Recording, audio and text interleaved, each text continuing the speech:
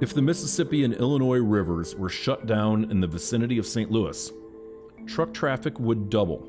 Traffic delays would increase fivefold, and injuries and fatalities would increase from 36 to 45% on interstate highways.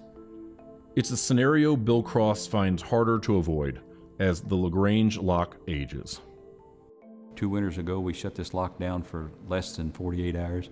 We had 45 tows sitting here waiting, and that's not counting the barges.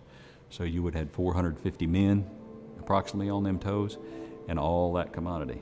And you could possibly take $250,000 per hour times 46 to know the cost, the impact to the shipping industry.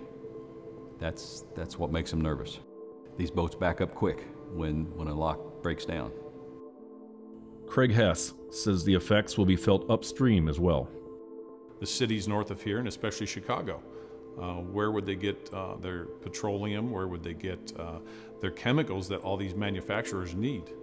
Uh, the cost and the delay of moving it to rail or to truck as an alternate form of transportation would, would greatly increase everyone's cost. Every consumer would pay for this lock being shut down. And according to Bill Cross, the economic impact goes beyond just shipping. If we couldn't hold water when we needed to, there's intakes to power plants. There's in city waters systems.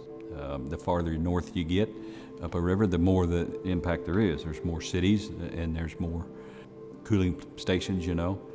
So uh, I I've seen studies on that, but this lock here would be the, the biggest concern would be pump stations and power plants, cooling systems.